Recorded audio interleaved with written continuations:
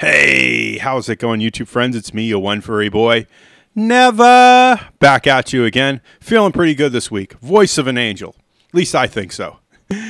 Uh, just to let you know, I might be off next week because of the holiday season. Um, I usually do take a break sometime in the, in this month as well as in December.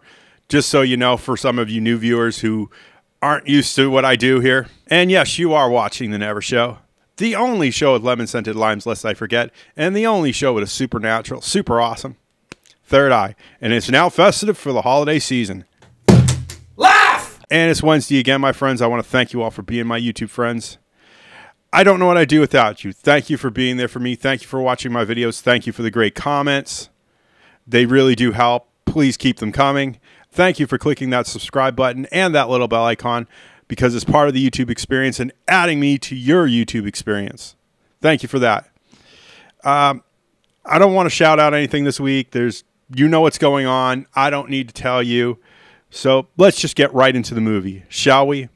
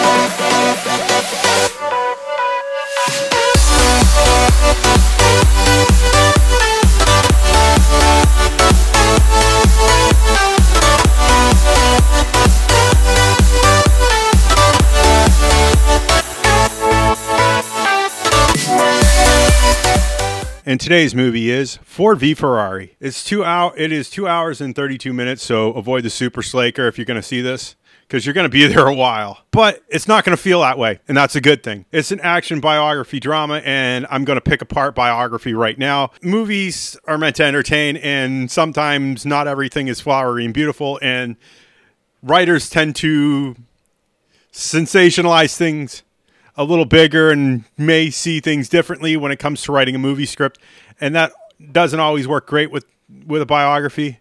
It's from director James Mangold, who did uh, Logan, Wolverine, and and Walk the Line. Our writers were Jez Butterworth and John Henry Butterworth and Jason Keller. The minds that brought you uh, Machine Gun Preacher, Spectre, and Edge of Tomorrow. Some decent movies that I have some good memories of. uh, our cast was Matt Damon as Carroll Shelby.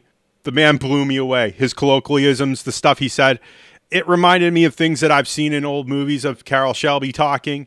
Uh, Christian Bale as Mile, as Ken Miles. Uh, I don't remember have a lot of memories of Ken Miles because he was before my time. Uh, John Beth Bethel as Lee Iacocca. I feel like I don't know. I don't know what Lee Iacocca was like, so I can't really say that he, he was good or bad. Carolina Balfe as Molly Miles. Her and Christian Bale have such great chemistry together. I'd love to see them in another movie.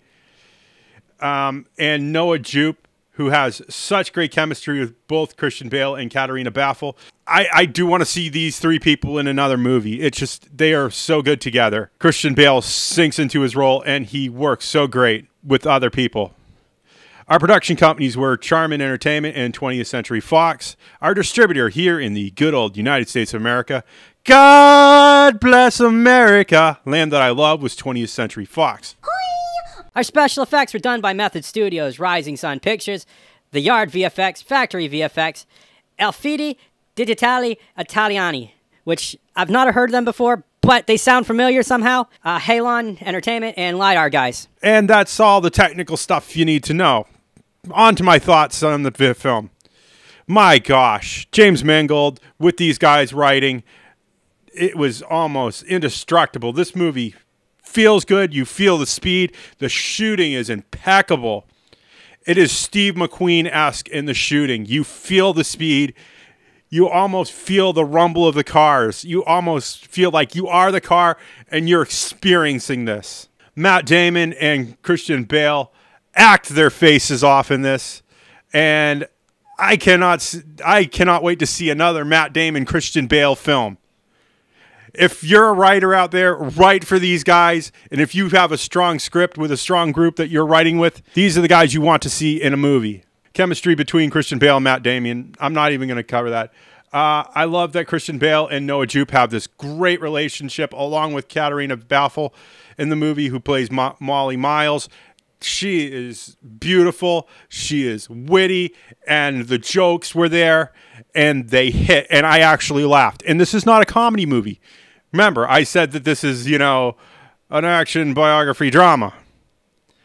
I mean, uh, Tracy Letts has one of the best one-liners in the movie, and I don't want to spoil you spoil it for you, but it's about James Bond, and that's all I can say because I don't want to spoil it for you. Because if you haven't seen this movie yet, go see it.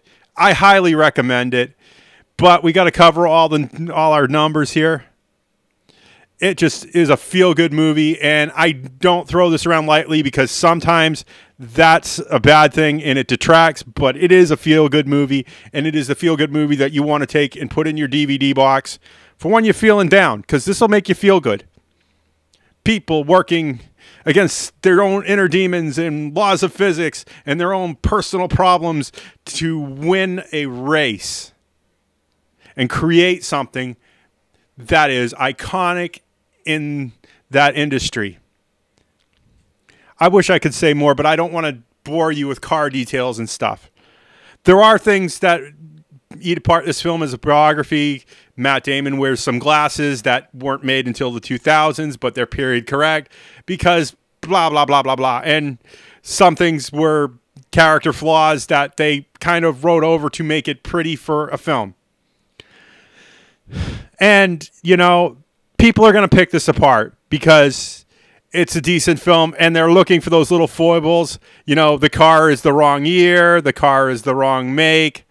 But if you overlook all that stuff, it's a great film. It's an 8.3 on IMDb. It's a 92% on Rotten Tomatoes. 98% of the audience liked it. Um, I want to see what CinemaSins thinks just because, you know, they're the pick apart guys, and I'll leave it to them. Uh, as for you hardcore film buffs that just want my opinion on the movie, it's a definite TV watch. I see this as a DVD buy, and I don't want extras. I don't want anything. I want this movie on a DVD in the happy box. Uh, I want to see this again in theaters, but it is the holiday season, and I wish I could see it again. But I highly recommend this if you have time between shopping and eating and because it's thanksgiving here in america and that's pretty much what we do is shop eat and then you see on the news black friday where people go insane oh yeah so uh, if you're here visiting family and you ha- want to sit down with your girlfriend, I highly recommend this movie. I can't recommend it enough. I wish I could give it more justice. And but to do that, I have to give you more spoilers. So that's the honest truth about that. If you like what you see in here, make sure you click that like button. More likes means this video got shared, and that's more important now than ever with the way YouTube is set up. I don't want to go into it any deeper, but it's important. And thank you for clicking it if you did already. Remember, all comments are 100% guaranteed response. Do I need to go deeper into the spiel? You remember the old spiel. I don't think we need to do that anymore, do we? And you know, I have to ask I have an Amazon, I have a Patreon. It is not without your support that keeps this channel afloat. You do not realize how little I have to do so much. Thank you for supporting me so far and thank you for supporting my American dream. And with all that said, for a final time, because it's a bit of a running joke on my channel, if you like what you see and you want to see more of this nonsense, click that subscribe button and that little bell icon. Ring a ding ding. And I will see you all in the next movie review. Bye!